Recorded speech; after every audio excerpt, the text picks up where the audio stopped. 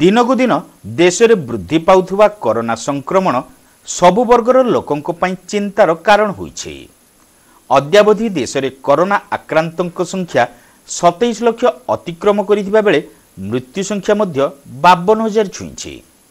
ଅନୁରୂପ ଭାବେ ଓଡ଼ିଶାରେ ଗତ ଚବିଶ ଘଣ୍ଟା ମଧ୍ୟରେ ଦୁଇ ହଜାର ଦୁଇଶହ ଅଣଚାଳିଶ ଜଣ ନୂଆ କରୋନା ପଜିଟିଭ୍ ଚିହ୍ନଟ ସହ ରାଜ୍ୟରେ ମୋଟ ସଂକ୍ରମିତଙ୍କ ସଂଖ୍ୟା ଚଉଷଠି ହଜାର ଅତିକ୍ରମ କରିଛି।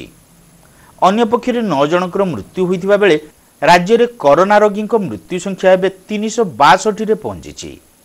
ସେହିଭଳି ବାଲେଶ୍ୱର ଜିଲ୍ଲାରେ ଗତ କିଛି ଦିନ ଧରି କ୍ରମାଗତ ଭାବେ ବଢ଼ି ଚାଲିଥିବା କରୋନା ସଂକ୍ରମଣକୁ ନେଇ ଜିଲ୍ଲାବାସୀଙ୍କ ମଧ୍ୟରେ ଆତଙ୍କ ଖେଳିଯାଇଛି। ବିଶେଷ କରି ସ୍ଥାନୀୟ ସଂକ୍ରମଣ ବୃଦ୍ଧି ଯୋଗୁଁ ଜିଲ୍ଲାର ସ୍ଥିତି ସଙ୍ଗୀନ ଆଡ଼କୁ ଯାଉଥିବା ଲକ୍ଷ୍ୟ କରାଯାଇଛି। ଏହା ଗୋଷ୍ଠୀ ସଂକ୍ରମଣର ରୂପ ନେଉଛି ବୋଲି ବିଭିନ୍ନ ମହଲରୁ ମତ ପ୍ରକାଶ ପାଇଛି।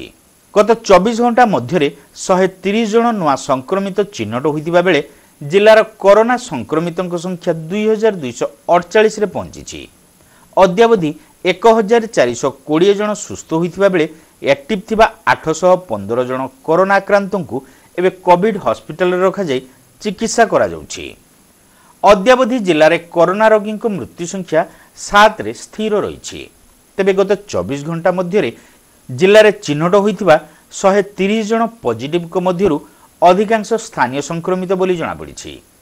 ସେମାନଙ୍କ ମଧ୍ୟରେ ବାଲେଶ୍ୱର ପୌରାଞ୍ଚଳରୁ ଛବିଶ ଜଣ ସଂକ୍ରମିତ ହୋଇଥିବା ସରକାରୀ ସୂତ୍ରରୁ ଜଣାଯାଇଛି।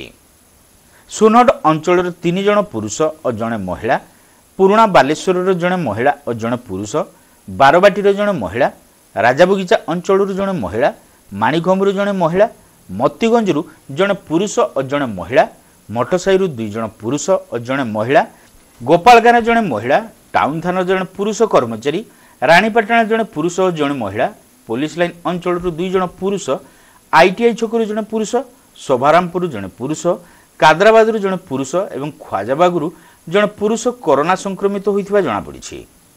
ଅନ୍ୟପକ୍ଷରେ ଚିକିତ୍ସା ପାଇଁ ଭୁବନେଶ୍ୱରର ସମ୍ ହସ୍ପିଟାଲ ଯାଇଥିବା ବାଲେଶ୍ୱରର ବାଷଠି ବର୍ଷର ପୁରୁଷ ଓ ତେପନ ବର୍ଷର ପୁରୁଷ କରୋନା ପଜିଟିଭ୍ ଭାବେ ଚିହ୍ନଟ ହୋଇଥିବା ବେଳେ ଏମ୍ସ ହସ୍ପିଟାଲ ଯାଇଥିବା ଚଷାଖଣ୍ଡର ଜଣେ ପୁରୁଷ ଏବଂ ଖନ୍ତାପଡ଼ା ଅଞ୍ଚଳର ଜଣେ ପୁରୁଷ ମଧ୍ୟ ସଂକ୍ରମିତ ହୋଇଥିବା ଜଣାପଡ଼ିଛି। ସେହିଭଳି ସୋର ଅଞ୍ଚଳର ତିରିଶ ବର୍ଷର ମହିଳା ବେସରକାରୀ ପରୀକ୍ଷଣ ସଂସ୍ଥା ବିପି ଲ୍ୟାବ୍ରେ ନମୁନା ଦେଇ ପଜିଟିଭ୍ ଚିହ୍ନଟ ହୋଇଥିବା ବେଳେ ବାଲେଶ୍ୱର ଜିଲ୍ଲା ମୁଖ୍ୟ ଚିକିତ୍ସାଳୟକୁ ଆସିଥିବା ମୟୂରଭଞ୍ଜ ଜିଲ୍ଲା କପ୍ତିପଦା ଅଞ୍ଚଳର ଜଣେ ପୁରୁଷ କରୋନା ସଂକ୍ରମିତ ହୋଇଛନ୍ତି। ଅନୁରୂପ ଭାବେ ସଦର ବ୍ଲକରୁ ନଅ ଜଣ ପୁରୁଷ ଆଠ ଜଣ ମହିଳା ରେମୁଣା ବ୍ଲକରୁ ଦୁଇ ଜଣ ପୁରୁଷ ଓ ଜଣେ ମହିଳା ବାଲିଆପାଳ ବ୍ଲକରୁ ଏଗାର ଜଣ ପୁରୁଷ ଓ ଆଠ ଜଣ ମହିଳା ଜଳେଶ୍ୱର ବ୍ଲକରୁ ଦୁଇ ଜଣ ମହିଳା ବାହାନଗା ବ୍ଲକରୁ ତିନି ଜଣ ପୁରୁଷ ବସ୍ତା ବ୍ଲକରୁ ଆଠ ଜଣ ମହିଳା ଓ ଆଠ ଜଣ ପୁରୁଷ ଖଇରା ବ୍ଲକରୁ ପାଞ୍ଚ ଜଣ ପୁରୁଷ ଓ ଜଣେ ମହିଳା ସୋର ବ୍ଲକରୁ ସାତ ଜଣ ପୁରୁଷ ନୀଳଗିରି ବ୍ଲକରୁ ସତର ଜଣ ପୁରୁଷ ଓ ଛଅ ଜଣ ମହିଳା ସିମୁଳିଆ ବ୍ଲକରୁ ତିନି ଜଣ ପୁରୁଷ ଔପଦା ବ୍ଲକରୁ ଜଣେ ପୁରୁଷ କରୋନା ସଂକ୍ରମିତ ହୋଇଥିବା ସରକାରୀ ସୂତ୍ରରୁ ଜଣାପଡ଼ିଛି। ତେବେ ବସ୍ତା ବ୍ଲକର ଅଗରଦାରୁ ଚାରି ଜଣ ବ୍ରହ୍ମାନନ୍ଦରୁ ଦଶ ଜଣ ସଦର ବ୍ଲକର ସଲ୍ପଟାରୁ ଦଶ ଜଣ ନୀଳଗିରି ବ୍ଲକର ନିଜଗଡ଼ରୁ ତିନି ଜଣ ଓ କଳାକାଦରୁ ପାଞ୍ଚ ଜଣ ବାଲିଆପାଳ ବ୍ଲକର ଜାମଳାରୁ ଏଗାର ଜଣ ଓ ଘଣ୍ଟୁଆରୁ ପାଞ୍ଚ ଜଣ ଏକସଙ୍ଗେ ଚିହ୍ନଟ ହେବା ସ୍ଥାନୀୟ ସଂକ୍ରମଣର ସ୍ଥିତିକୁ ସଙ୍ଗୀନ କରିଛି। ସେହିଭଳି ପୋଲିସ ବିଭାଗରେ ବି ସଂକ୍ରମଣର ହାର ବଢ଼ି ଚାଲିଛି। ଗତ ଚବିଶ ଘଣ୍ଟା ମଧ୍ୟରେ ସୋର ଥାନାର ଚାରି ଜଣ ଓ ବାଲେଶ୍ୱର ଟାଉନ ଥାନାର ଜଣେ ପୋଲିସ କର୍ମଚାରୀ ସଂକ୍ରମିତ ହୋଇଥିବା ପ୍ରଶାସନ ପକ୍ଷରୁ ସୂଚନା ଦିଆଯାଇଛି। ସେହିପରି ଚାନ୍ଦିପୁର ପ୍ରତିରକ୍ଷା ଗବେଷଣା ଉନ୍ନୟନ ସଂସ୍ଥାରୁ ବି ଜଣେ ସଂକ୍ରମିତ ହୋଇଥିବା ଜଣାପଡ଼ିଛି। ତେବେ ନୂଆ ଭାବେ ଚିହ୍ନଟ ହୋଇଥିବା ସମସ୍ତ ସ୍ଥାନୀୟ ସଂକ୍ରମିତ ପୂର୍ବ ସଂକ୍ରମିତଙ୍କ ସଂସ୍ପର୍ଶରେ ଆସିଥିବା ଯୋଗୁଁ କରୋନା ପଜିଟିଭ୍ ହୋଇଥିବା ପ୍ରଶାସନ ପକ୍ଷରୁ ସୂଚନା ଦିଆଯାଇଛି।